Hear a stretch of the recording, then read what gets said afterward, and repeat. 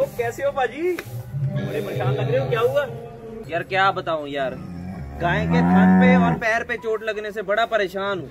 पेशाब और पानी की फिसलन का कोई हल ही नहीं समझ आ रहा। बस इतनी सी परेशानी?